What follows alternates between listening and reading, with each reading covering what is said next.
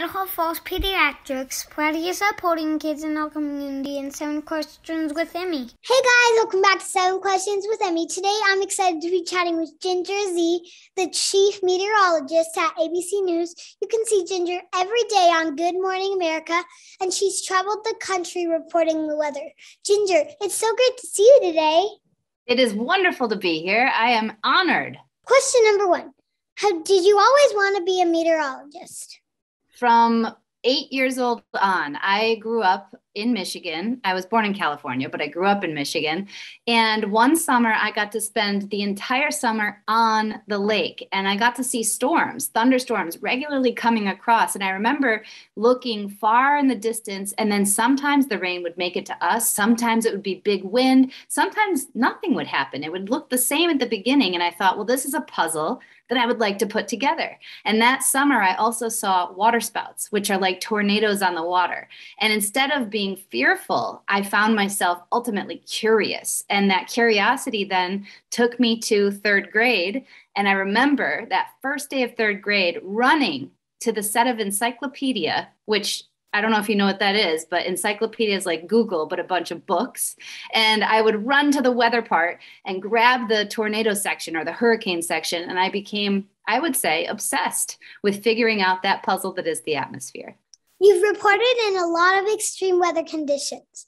What's the craziest thing you've covered? I've actually been in one in New York when the big flood happened. You were. So you I was got the there visiting Drew Barrymore and I got the full New York experience because it was my first time in New York.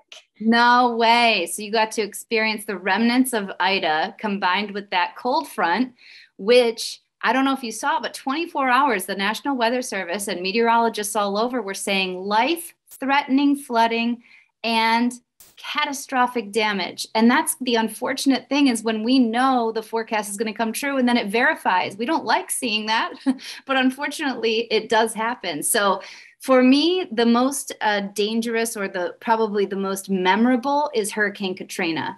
And I went to cover Hurricane Katrina from Gulfport because Gulfport, Mississippi, and the Mississippi coast was actually where the worst of the storm happened. What happened in New Orleans in Katrina was an engineering failure and it was a breached levee and it was happened hours after the storm because they were actually on the backside of the storm so i was in gulfport mississippi and it was wow it was one of the scariest uh, to see the impact to humans and that's really one of my points in my career where my storm chasing and my science brain changed from my passion for the atmosphere to compassion because storms are just as much and more about people than they are about the science. Sometimes it's hard for me to wake up early for school. You have to wake up super early for GMA. Any tips you can share?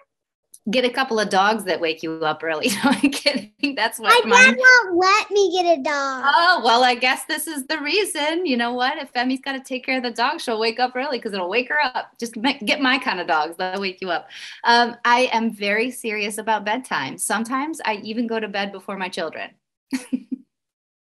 How old are your kids? Three and five. I, I say to them, good luck.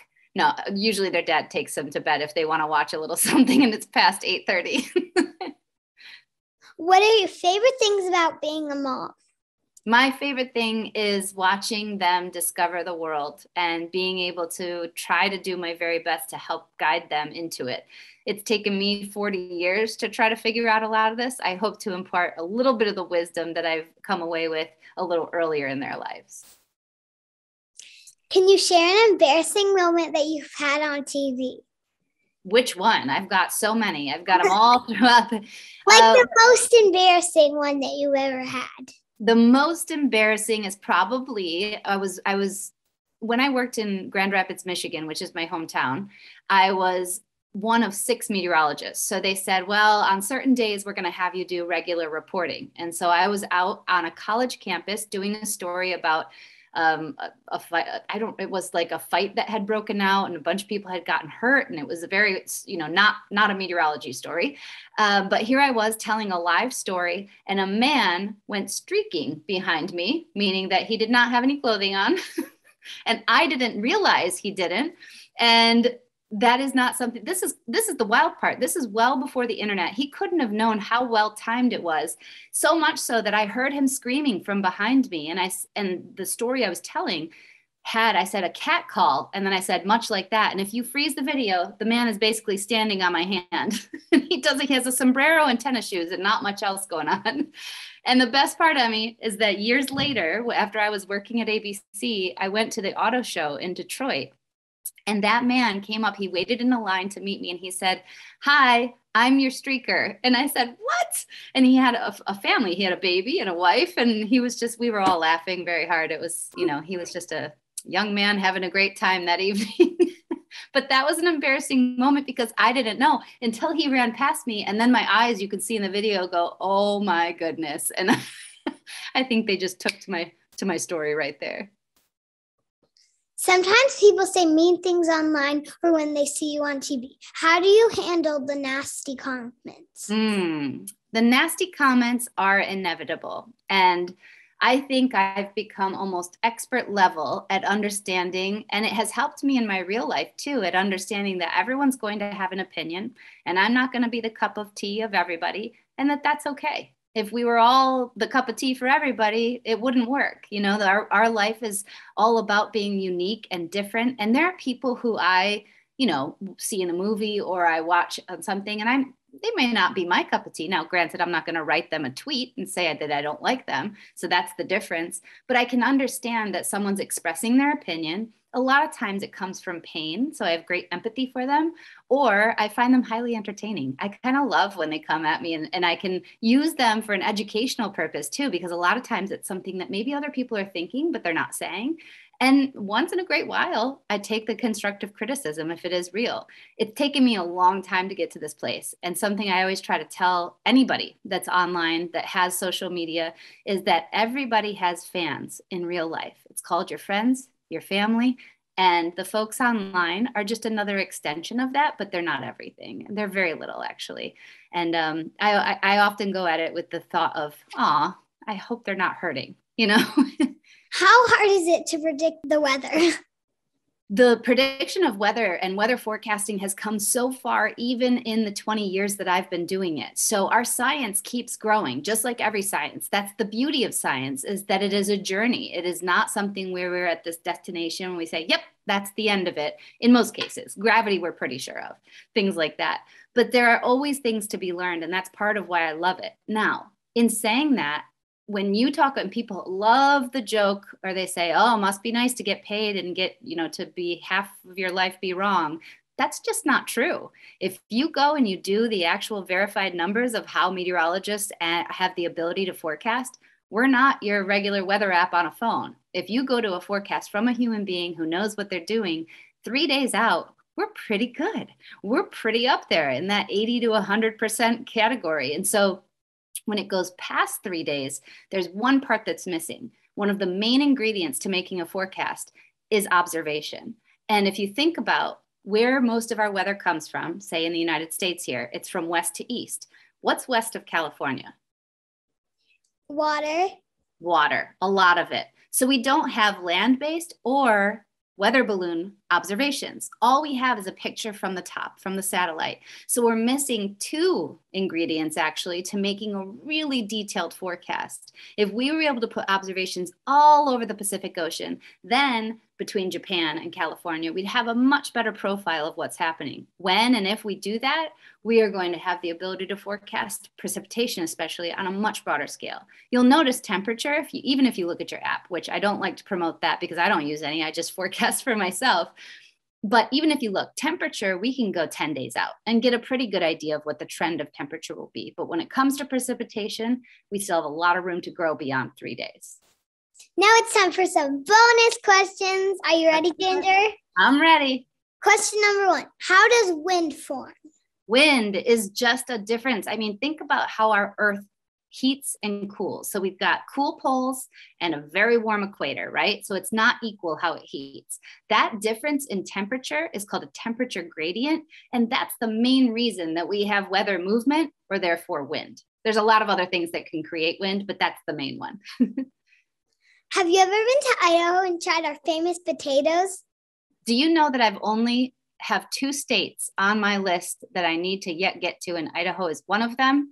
Oregon is the other. So I have not been there, but I've certainly tasted your potatoes, and they're wonderful. When you come to Idaho, you're gonna have to try uh, some of our potatoes, and you can come with me. Like that sounds like a great plan. Potatoes together you know what we need to do because a lot of my reporting now is all focused on climate change and agriculture. I did a whole show called Food Forecast. And so potatoes are one of those that are pretty easily grown in a lot of different places, but not as well. So I bet you there's something specific that's changing in the seasonality of potatoes. If I spoke to the potato farmers, that we could find an angle to get me there. Feel like we could. Yeah. And I know a potato farmer. So well, let's work on it. Get you in. Can you share something with me uh, that you've learned that may help me in my life? I think the easiest and the best one that I can think of that I hope you could take away and everybody could take away is most of the things that we are worried about on every single day of our lives don't really matter. and that sounds terrible to say, but we can really work ourselves up into a tornado ourselves, right? You can get yourself all frustrated or angry, and emotion is wonderful and it's a, wonderful to share and feel. But at a certain point, I like to ask myself, will I remember this or will this matter a year from now? And if that answer is no, I let go and I say, okay, time to move on with my energy because there's no point. And let me tell you, as I get older, I remember less and less. So it takes a lot for me to say yes to that question. So I think if I could go back and if I could be your age, I was so worried all the time. I was always worried about school. I was always worried about life is beautiful. Take in all of the good, the bad, and, and something I tell my five year old son that I, took me a long time. And I think I'm just starting to learn by watching him. I always wanted perfection, always. And that's, we hear it all the time. Nobody's perfect. Miley Cyrus wrote a song about it, Hannah Montana, right? But perfection, I always tell him, is on this side, and like really evil, bad is on this side. All of us live between. It's wonderful to be on that other half most of the time, but we're going to fluctuate. We're going to have bad choices. We're going to have, and giving yourself grace is the other thing that throughout the whole thing, you just do your absolute best. And that's all we can do. And then move on because you probably won't remember it anyway. Thanks so much for talking with me today, Ginger. Thank you, Emmy. I'll see you in the potato farms. Yeah. Don't forget, I post a new seven questions interview every Thursday, and you can follow me on Facebook, Instagram, and our Meetin' the Eatons YouTube channel. Ginger, thanks so much for chatting with me. I wish you a week full of Sunday, sunny days. Thank you, and sunshine to you as well. Idaho Falls Pediatrics, proudly supporting kids in our community and seven questions with Emmy.